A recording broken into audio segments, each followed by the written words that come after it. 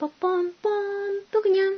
まあ、それにしてもね、まあ、沖縄ではですね、普天間でしたっけ、ね、米軍のね、あのー米軍ヘリの窓が落下し、小学校に落ちて、えー、小学生がですね、まあその風圧によって怪我をすると、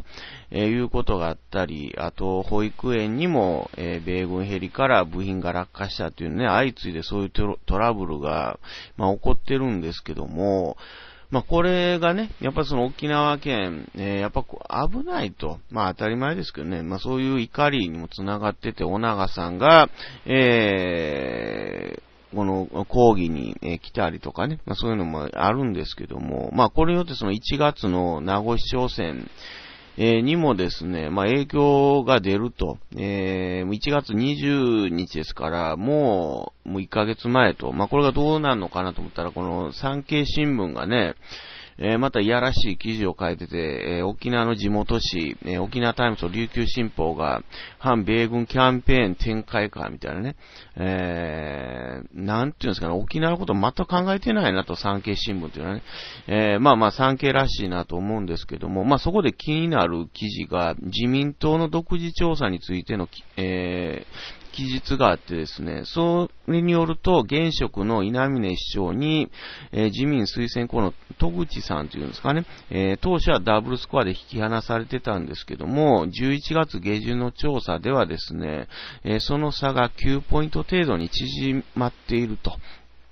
だから決してその現職の稲峰さん、オール沖縄ね、えー、決して安泰楽勝の状況では、えー、全然ないと。いうことが言えるかなと。まあ、情勢的にはまあ、やや先行と、えー、は言えるかもしれませんけども、まあ、これがでも、えー、11月下旬、まだ米軍ヘリのトラブルっていうのは起きてないんですけども、ただ、その段階でも縮められてるっていうのはね、やっぱりもっと頑張らないかんのじゃないのかなと。うん。まあこれ、まあでも米軍ヘリのこのマドラッカによって公明党がですね、まあちょっと、えー、自民党の推薦候補に乗っかるかどうかというのは躊躇していると。まあ自主投票になる可能性が、えー、あるのかなとかと思ったりもするんですけども、まあそれによってまあ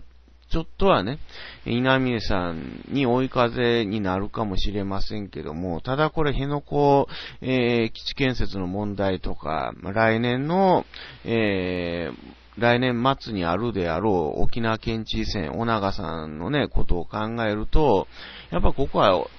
もう差をつけて勝たないとね、僕はダメだと思うんでね、僅差で稲峰さんが勝ちましたっていうのではちょっとえー、心もとないかなと。まあ、ただでさえ今年のね、えー、お、長さんの地元での那覇、えー、市議選でしたっけ？なんかそれでは過半数取れなかったんですね、オール沖縄がね。で、衆院選ではですね、沖縄4区では自民党に、えー、1議席取らせてしまったと。うん、だから決してオール沖縄が安泰では全然ないと。うん、ただやっぱこういうね、えー、米軍ヘリのトラブル、えー、だったりオスプレイの墜落とかですね、まああと、えー、米軍のね、兵士の飲酒運転による事故、こう考えたたらね、やっぱ沖縄県民もうちょっとあのー、まともな判断っていうかね、下してほしいなと思うんですけども、えー、ただやっぱり自民党だって必死ですからね、もういろんな、あのー、ことはやってきてると。まあそれがね、えー、まあいろんなその、まあニュース女子の問題だったりとかするのかなと思うんですけども、この産経の記事とかね、うん、そういうのをいかに跳ね返せるかと。